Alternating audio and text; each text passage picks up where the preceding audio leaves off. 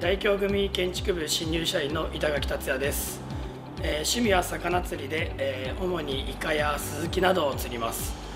えー、特技は学生の頃から野球をしていたので野球が特技です、え主に外野手を守っていました。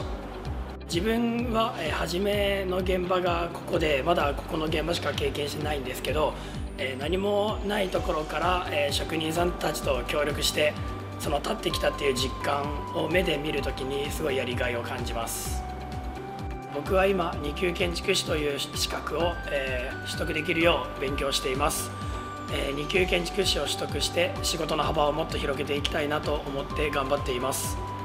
僕は、えー、いろいろな人と、えー、お話をすることがすごい好きですので、えー、もしそのような方がおられましたら